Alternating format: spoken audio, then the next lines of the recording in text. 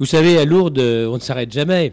Alors, dans quelques jours, ce qu'on appelle euh, païennement la saison va s'arrêter.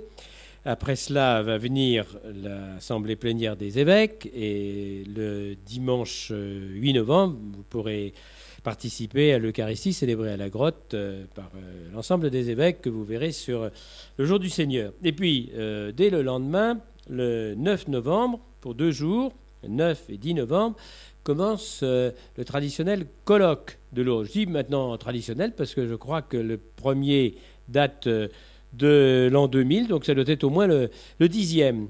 Quel est l'objectif du colloque? Ce n'est pas de traiter à l'avance euh, le thème des pèlerinages de l'année suivante, mais c'est, disons, d'enrichir ce thème, de l'enrichir de façon assez gratuite, assez fondamentale. Euh, pour prendre une image, disons, euh, on, réalimente euh, la nappe phréatique. Et puis les directeurs de pèlerinage puiseront ce qu'ils voudront dans ce qu'ils auront reçu. Alors, le thème des pèlerinages pour l'année 2010, c'est avec Bernadette faire le signe de la croix.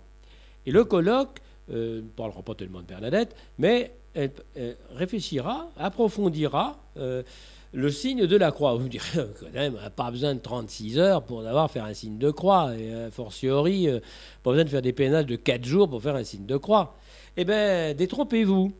Détrompez-vous, parce que justement, euh, le signe de la croix, c'est une réalité euh, simple, ancienne, on ne peut plus traditionnelle, etc. Bon, et ça prend pas de temps, d'accord, ou presque pas de temps, mais c'est d'une richesse sans fond. Et, euh, il suffit de commencer à parler avec des gens, de réfléchir, mais attendez, le signe de la croix. Alors euh, viennent euh, soit des souvenirs d'enfance, soit ah ben oui, mais dans la liturgie, ah oui, moi je fais le signe de la croix dans tel ou tel. Ah ben oui, j'en vois qui font le signe de la croix dans telle circonstance. Pour moi, ça n'a pas beaucoup de sens. Je vois des croix dans, au carrefour de etc. ah oui, j'ai vu des représentations de la croix.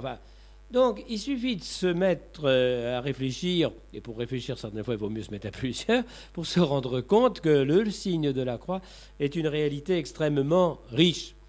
Nous nous appuyons euh, pour le colloque sur une phrase euh, du pape Benoît XVI quand il est venu à Lourdes il y a cela un an, quand il a dit du signe de la croix que c'était comme la synthèse de la foi chrétienne. Effectivement, on peut dire c'est la synthèse de la foi chrétienne, à la fois parce qu'il évoque la croix, hein, le chemin par lequel le, Seigneur nous fait accéder à la vie, à la plénitude de vie, par la mort et la résurrection de son Fils, mais aussi par euh, le nom de Dieu, le Père, le Fils et l'Esprit Saint, donc euh, la perfection de l'amour.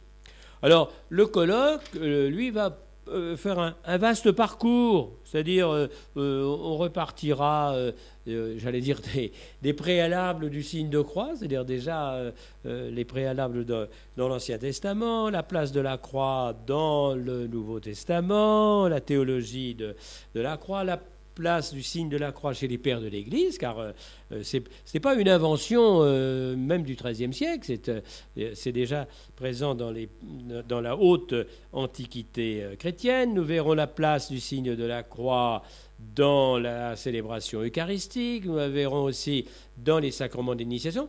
Quand un adulte, même un enfant, est baptisé, le tout premier signe qui est fait sur lui, c'est le signe de, la croix. Bon. Et puis euh, nous regarderons l'aspect plus, philosophique, plus anthropologique. Qu'est-ce que c'est que de gestuer sa foi hein?